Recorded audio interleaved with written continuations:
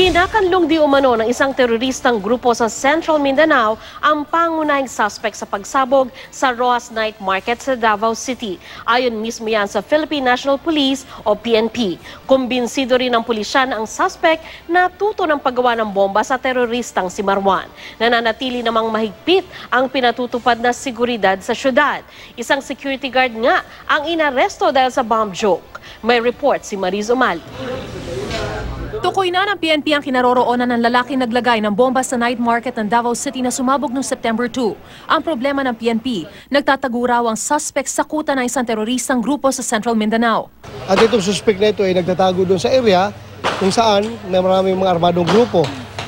Oh, itong mga itong mga area na ito ay kontrolado ng BIFF, kontrolado ng mga armed uh, private armed group at saka nagko-cross border din sa uh, area ng uh, MILF. Doon kami nag-concentrate doon yung naglagay ng bomba doon sa sa crime scene. So doon kami nakafocus ngayon. And all of his connections. Habang nagtatagal daw ang investigasyon ayon kay General Bato, mas lumilinaw na may kinalaman ng narco-terrorism sa pagsabog sa Davao. Iniimbestigahan pa rin kung may kinalaman si Talitay Maguindanao Vice Mayor Abdul Wahab Sabal na inaresto noong isang linggo. Ang mas malinaw ngayon kay Zulkifli Benhir o Marwan Natuto ang suspect sa paggawa ng bomba. Marwan is the person teaching how to make bombs.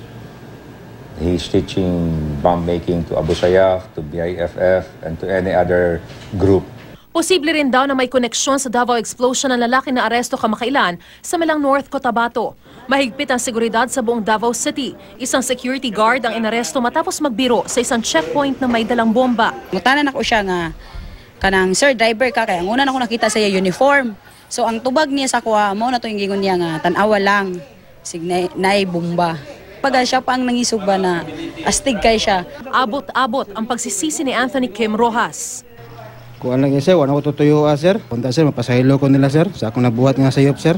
Kumalat din sa Davao ang umano'y isang memo mula sa pulisya na nagbabala sa umano'y pagsabog ngayong araw ng Eid al-Adha. It was uh, malicious in nature, actually, kasi it was not supposed to be for public consumption. Hintayin nyo kung talagang ma-determine namin na very imminent at very real at uh, unquestionable yung uh, yung threat na yan, eh, talagang we will make it public, kami mismo. Mariz Umali, GMA News.